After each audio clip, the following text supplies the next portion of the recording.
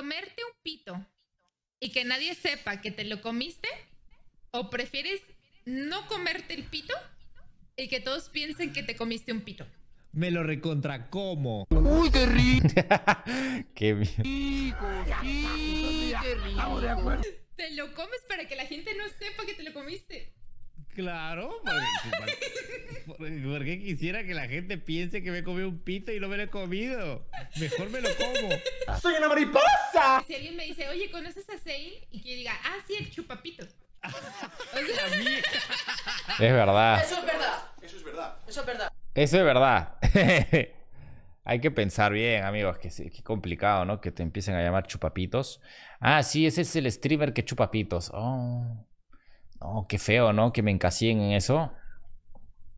¿Eh? Claro, weón. Sí, ¿no? Total. Total, es uno. Tampoco es, que vayas a chupar pito toda tu vida, ¿no? Es uno nomás.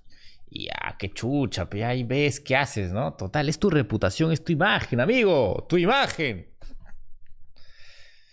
No tiene nada de mal igual, pero digo, si te molesta, pues